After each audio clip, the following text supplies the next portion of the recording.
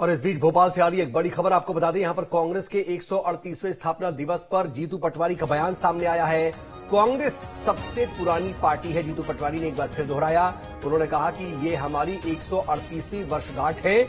MP के हर ज़िले में हम स्थापना दिवस मनाएँगे। कांग्रेस ने हमेशा जनहित के काम किए हैं। तो जीतू पटवारी, जो कि नए पीसीसी चीफ है, उनकी तरफ़ से स्थापना दिवस को लेकर के यह बयान सामने आया। 138 साल पहले हमारे सामने लक्ष्य था देश की आज़ादी का। 138 साल बाद हमारे सामने स्थापना के दिन लक्ष्य है लोकतंत्र को बचाने का संविधान को बचाने का लोकतंत्र की रक्षा का। स्थापना दिवस हर ज़िले में होगा। हर आ,